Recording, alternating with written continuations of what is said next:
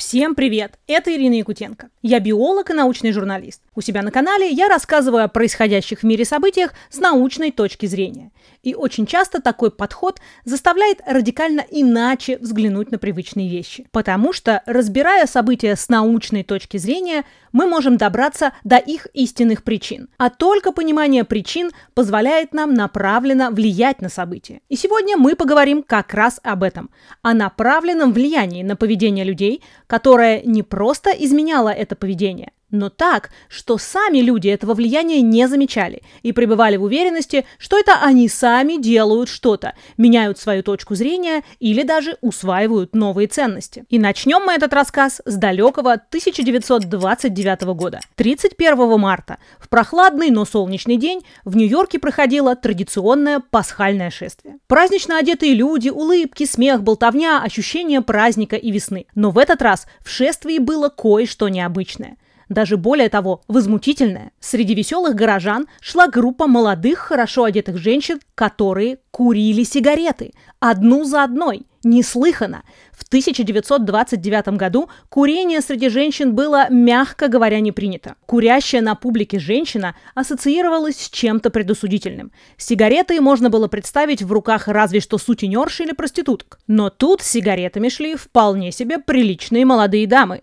Более того, среди них были известные личности, например, журналистка, активистка и борец за права женщин Рут Хейл. И она не просто курила, она призывала новых участниц, объясняя, что курение – символ женской эмансипации, что женщины имеют такое же право курить, как и мужчины. Организатором шествия была еще одна молодая девушка по имени Берта Хант, до этого неизвестная в феминистских кругах. Тем не менее, это именно она разослала нескольким женщинам телеграммы с призывом поучаствовать в пасхальном шествии. Первые строчки телеграмм гласили «В интересах равенства полов и для того, чтобы побороть еще одно гендерное табу, я и другие молодые женщины зажгут еще один факел свободы. Мы будем курить сигареты, проходя по Пятой авеню в пасхальное воскресенье». Когда журналист газеты газеты New York World подошел к Хант и спросил ее, как зародилась идея запустить такую необычную кампанию, она рассказала, что как-то шла по улице со своим знакомым, и он попросил ее затушить сигарету,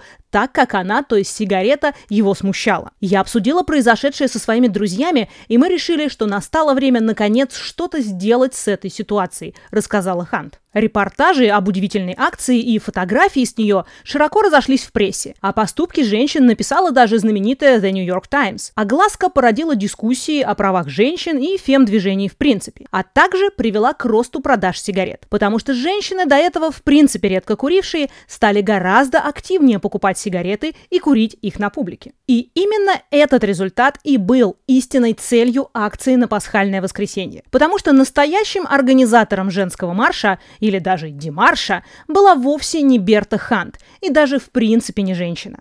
Автором мероприятия был Эдвард Бернейс, племянник Зигмунда Фрейда, психолог, журналист и отец современного маркетинга и пиара. Берта Хант была его секретаршей. Бернейс одним из первых придумал основывать рекламу не на технических характеристиках товаров, как делали до него, а на особенностях работы нашего мышления. Свои идеи и приемы он во многом черпал из работ своего знаменитого дяди, но также консультировался и с другими специалистами по закоулкам человеческого разума. Например, словосочетание «факел свободы» Бернейсу подсказал психиатр по фамилии Брил. Некоторые женщины рассматривают сигареты как символ свободы. Курение является сублимацией орального эротизма, Держание сигареты во рту стимулирует оральную зону. Совершенно нормально, что женщины хотят курить сигареты, сказал Берней Субрил, когда тот обратился к нему за советом. Это было, конечно, интересно, но все же не то.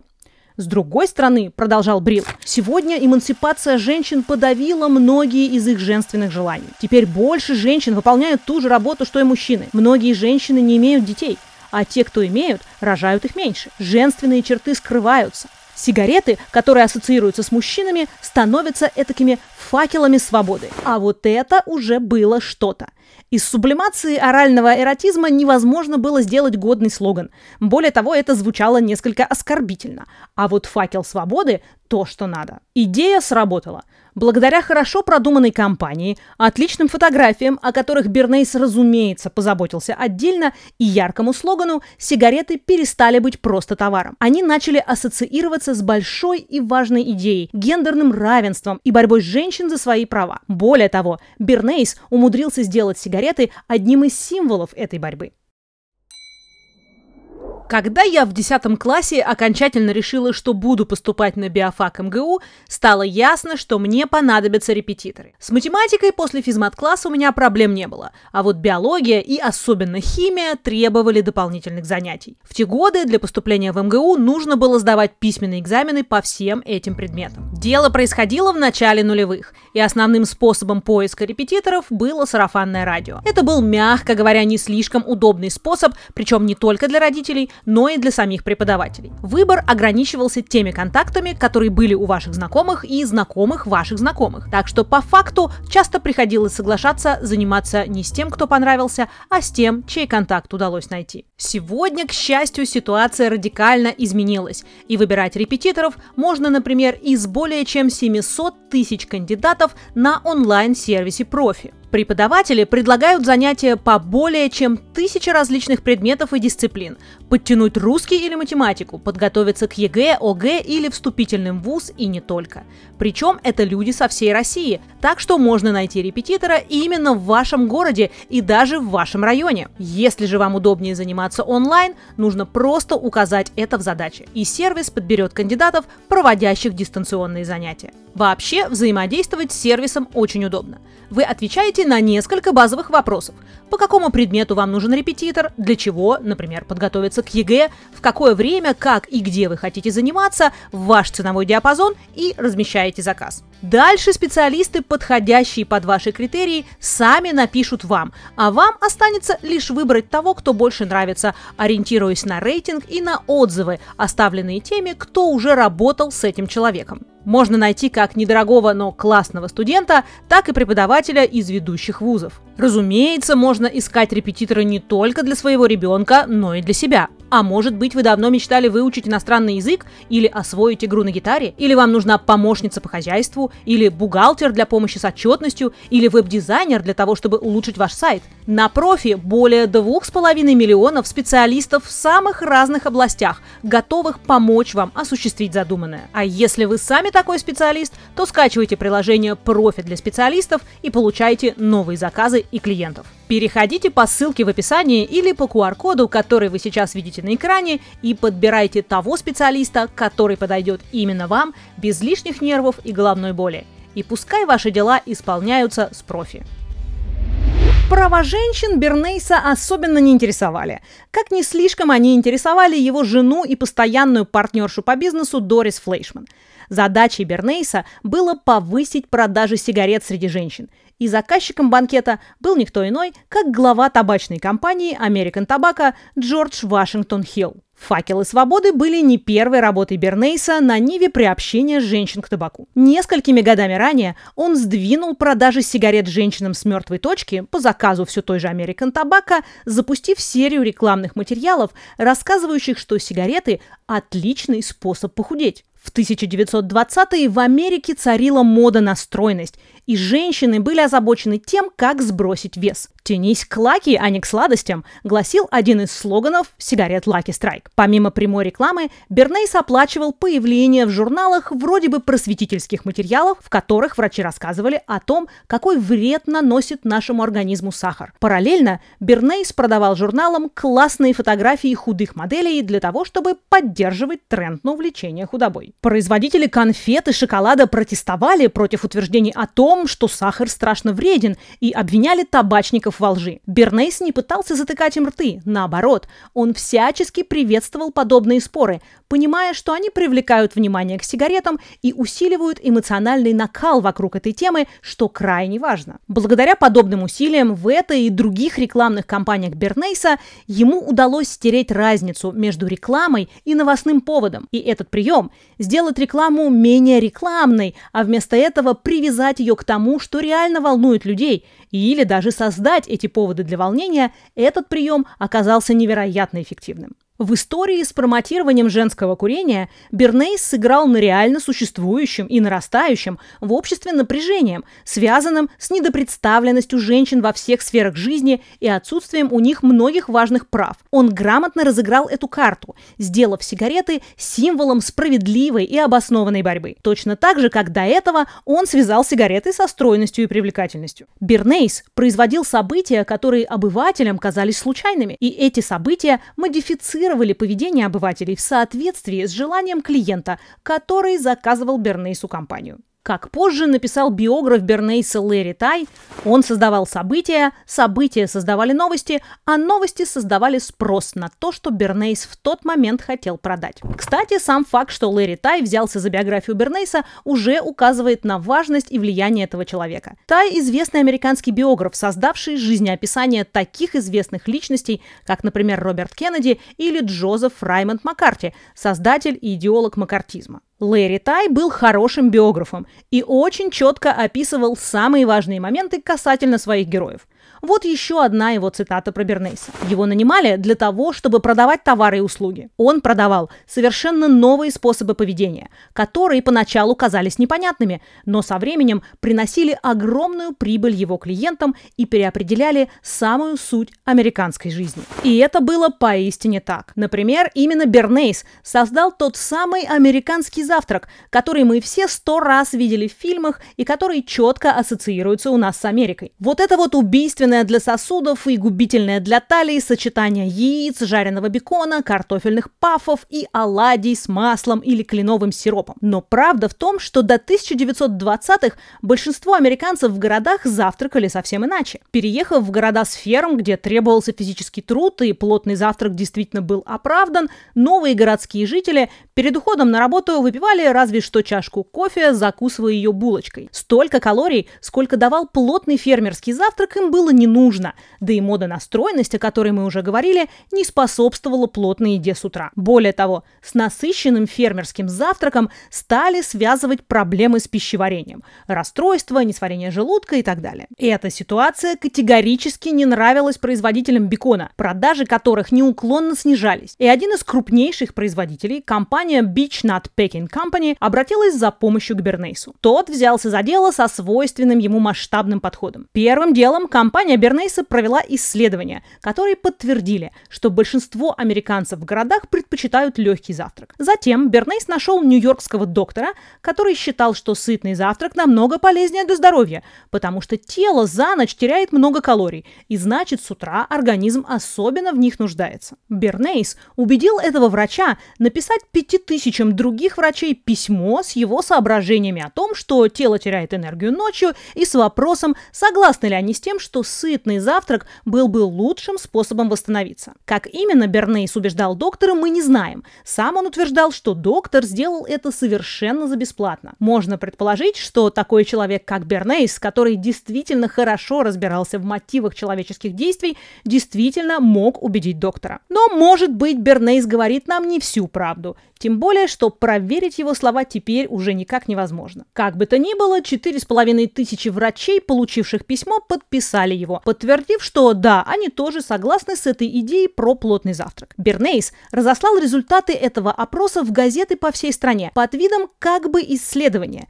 И в итоге все они вышли с различными вариациями одного и того же заголовка – Четыре с половиной тысячи врачей призывают американцев употреблять плотные завтраки для улучшения здоровья. И во многих статьях очень, кстати, отмечалось, что сложно найти что-то более сытное, чем бекон и яйца – Очевидно, это было в информации, разосланной Бернейсом. И, разумеется, Бернейс не просил журналистов писать про бекон. Он был уверен, что очень многие из них сами выберут этот кусок для своих текстов, потому что это что-то практическое, что публика особенно любит.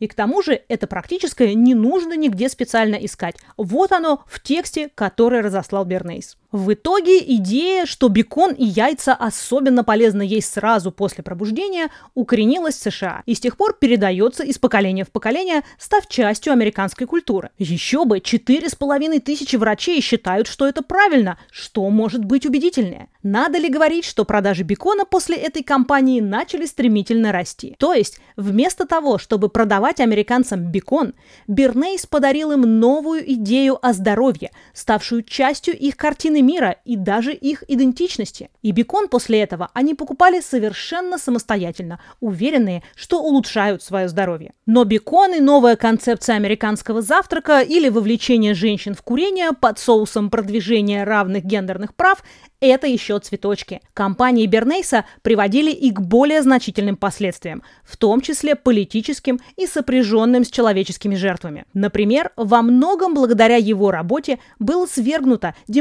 демократически избранное правительство Гватемалы. Вот это поворот! Но прежде чем мы узнаем, как пиарщику удалось свергнуть правительство, хочу традиционно призвать вас поставить лайк этому видео, если вы этого еще не сделали, и, конечно, вам это видео нравится, ставить лайки другим моим видео, подписываться на мой канал для того, чтобы не пропускать выход новых роликов, писать что-нибудь в комментариях и, конечно, подписываться на меня на платформах Patreon и Boosty. На Патреоне вы можете донатить в евро, на Boosty в рублях, и ваша финансовая поддержка очень важна для моего независимого канала. Итак, как же вышло? Вышло, что Бернейс, которого в принципе интересовали только деньги, оказался замешан в политической борьбе. Компания United Fruit Company, нынче она называется Chiquita Brands International, и вы все, конечно, ее знаете по бананам с характерной наклейкой, наняла Бернейса в начале 1940-х годов с целью продвижения продаж бананов в США. Бернейс делал это уже хорошо знакомым нам способом, привлекая врачей, которые рассказывали о том, что бананы полезны для здоровья,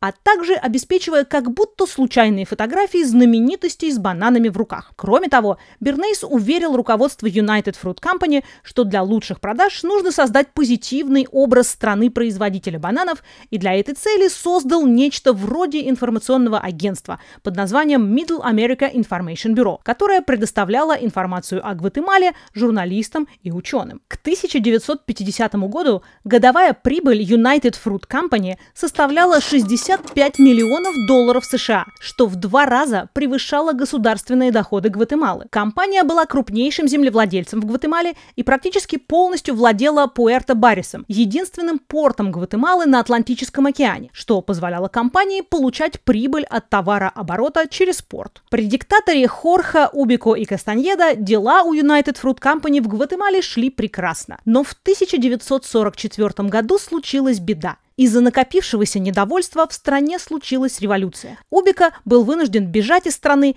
и вместо него на демократических выборах был избран Хуан Аревало. Его избрание стало первым случаем, когда в Центральной Америке президент был избран на честных выборах, а не после переворота или еще каким-нибудь не слишком демократическим путем. Аревало начал проводить в Гватемале прогрессивные реформы, причем не чисто социалистические, как было принято в Латинской Америке, а вполне себе в духе капитализма капитализма. В 1951 году он ушел с поста президента, и его место занял опять же выбранный на демократических выборах Хакоба Арбенс Гусман – он продолжил реформы своего предшественника и особенно активно занялся освобождением Гватемалы от чрезмерного влияния США, которые контролировали различные отрасли экономики страны, прежде всего через крупные компании, вроде United Fruit Company, а заодно нещадно эксплуатировали местное население. Правительство Арбенса, как и правительство Аривалы до него, небезосновательно считало United Fruit Company препятствием для прогресса страны. Это впечатление усиливалось дискриминационной политикой компании в отношении коренного населения. Так как United Fruit Company была гигантской компанией, реформы Аривала затронули ее сильнее других крупных компаний в стране.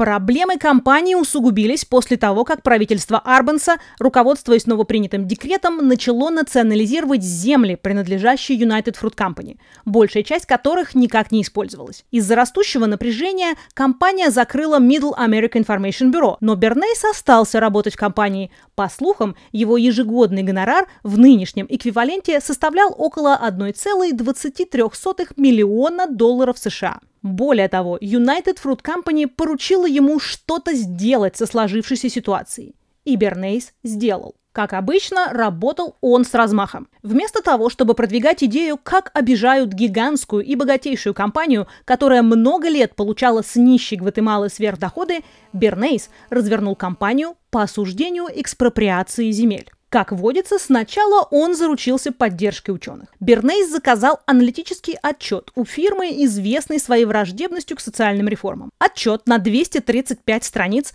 был крайне критичен к правительству Гватемалы. Позже историки писали, что он был полон преувеличений, клеветнических описаний и странных исторических теорий. Но, тем не менее, этот отчет серьезно повлиял на членов американского конгресса, которые его читали. Но отчет читали не только в Конгрессе, но и в редакциях всевозможных американских СМИ. Разумеется, Бернейс позаботился о том, чтобы отчет к ним попал. Такие гранды, как The New York Times, The New York Herald Tribune, Time, Newsweek и Atlantic Monthly вышли со статьями, описывавшими угрозу коммунизма в Гватемале. Каждую неделю Бернейс публиковал отчет о Гватемале и отправлял его 250 журналистам, многие из которых, как и в предыдущей кампании Бернейса, использовали этот бюллетень как источник информации. В январе 1952 года Бернейс привез группу журналистов из различных известных газет на экскурсию по Гватемале. Экскурсия, разумеется, спонсировалась United Fruit Company. Этот метод оказался очень эффективным и дал много новых статей с критикой коммунистического правительства Гватемалы. Так что Бернейс свозил представителей американской прессы на экскурсии за счет United Fruit Company еще четыре раза. В целом, компания потратила более полумиллиона американских долларов, чтобы убедить законодателей и американскую публику в необходимости свержения правительства Гватемалы, которое несет коммунистическую угрозу. В июне 1954 года ЦРУ осуществила государственный переворот под кодовым названием «Операция PB Success». Во время самого переворота Бернейс был основным поставщиком информации для международных новостных агентств. Под натиском войск Арбенс подал в отставку, передав свои полномочия командующему вооруженными силами страны Энрике Диосу. Но его вскоре свергли проамериканско настроенные военные, и после этого президентом стал полковник Кастильо Армас, установивший в стране военную диктатуру. Разумеется, пиар-компания Бернейса была не единственным источником информации, побудившим ЦРУ организовать и провести переворот. Например, брат Алана Даллиса, Джон Фостер Даллис, до того, как стать госсекретарем США, представлял интересы United Fruit Company как юрист, а бывший CEO United Fruit Company Томас Дадли Кэббет занимал пост директора по вопросам международной безопасности в Госдепартаменте США. Его брат Джон Мур Кэббот был секретарем по вопросам межамериканских отношений в течение большей части планирования переворота в 1953 и 1954 годах. Так что интересов тут было много, но влияние компании Бернейса, особенно на общественное мнение и демократическую оппозицию, признают все историки. И не только историки – Мощь описанного Бернейсом подхода, что для успешного продвижения чего-либо нужно воздействовать на восприятие людей так, чтобы они сами захотели этот товар, идею или концепцию, ценили многие люди, успешно занимавшиеся пропагандой. Например, Йозеф Геббельс, который использовал идеи, изложенные в книге еврея Бернейса «Кристаллизация общественного мнения» для разработки антисемитской нацистской кампании в 1930-е.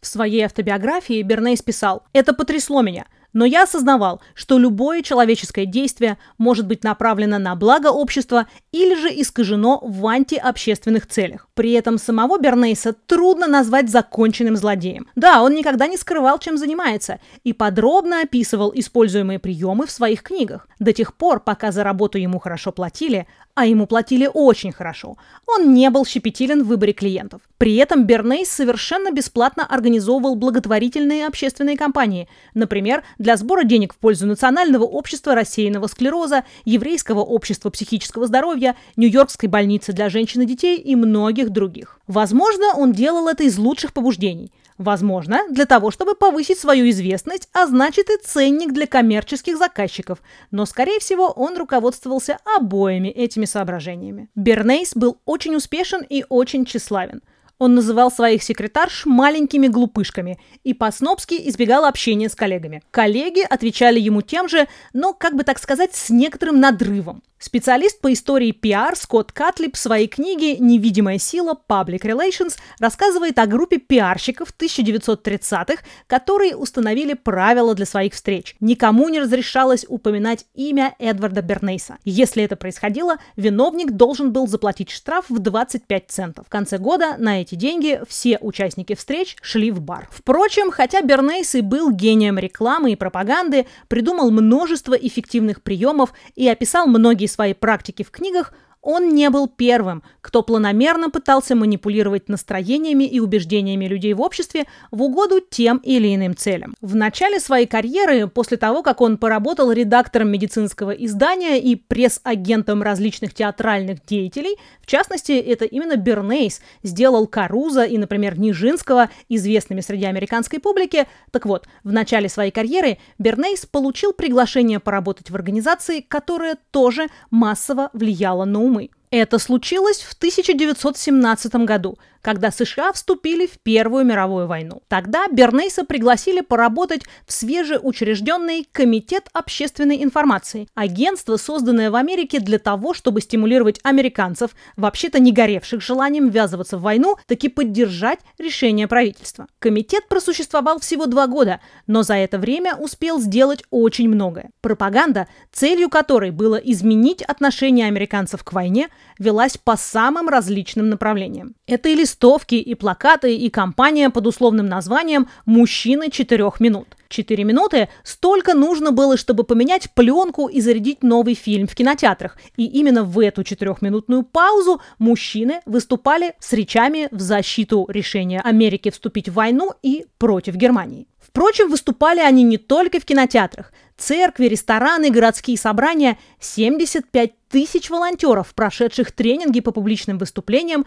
рассказывали о том, как важно для Америки участие в войне. Комитет общественной информации производил и фильмы. Например, такие шедевры, как «Гунские когти», «Прусская дворняжка» и «Кайзер. Чудовище Берлина». Разумеется, немцы в этих фильмах представлялись исключительно чудовищами и монстрами. Комитет также скармливал газетам новостные поводы, которые нередко были преувеличенными, либо полностью фальшивыми. Но благодаря тому, что пресса в США сохраняла независимость от правительства, несколько раз комитет на подобных вещах ловили. Считается, что работа комитета была успешной и помогла изменить отношение американцев к участию в Первой мировой войне. После подписания перемирия комитет был распущен, а вся его деятельность свернута, что само по себе примечательно и требует отдельных исследований, потому что куда чаще подобные структуры сохраняются и только набирают мощь со временем. Как бы то ни было, именно за два неполных года работы в комитете у Бернейса созрела и окончательно оформилась идея о том, что можно очень успешно продавать людям самые разные сущности –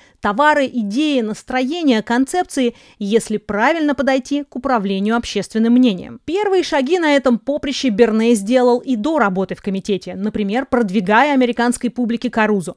Но комитет показал великому манипулятору, что можно замахиваться и на куда более глобальные цели. Что он и делал а вслед за ним и другие пропагандисты, начиная от Геббельса и заканчивая безымянными специалистами, продвигающими коммерческие товары и политические идеи. Может сложиться впечатление, что мы живем в мире сплошной конспирологии. Никаких реальных общественных запросов не существует. Все идеи придумываются какими-то группами влияния и продаются обывателям так, что они принимают их за свои. Мы все лишь марионетки в чьих-то руках. Разумеется, это не так. Тот же Бернейс в своих кампаниях чаще всего ориентировался на какие-то реально существующие в обществе потребности и лишь обыгрывал их нужным образом для продвижения того, что он в этот момент продавал. Так было, например, с факелами свободы. Феминистское движение реально существовало. Женщины действительно боролись за свои права. В обществе зрело напряжение из-за гендерного перекоса. Бернейс просто ловко сыграл на этом и повысил продажи сигарет. Но заодно его акция и подстегнула феминистскую активность. Свержение гватемальского правительства было бы невозможно, не существуя у США реально серьезных опасений по поводу коммунистической угрозы, и заодно не существуя у американских чиновников столь явного коррупционного интереса сохранить United Fruit Company. То есть тут Бернейс опять использовал существующие трения. Так что нет, Реальные запросы и grassroots движения существуют. Но да, существуют и заинтересованные группы, которые будут пытаться использовать эти движения в своих интересах. И благодаря Бернейсу и многим другим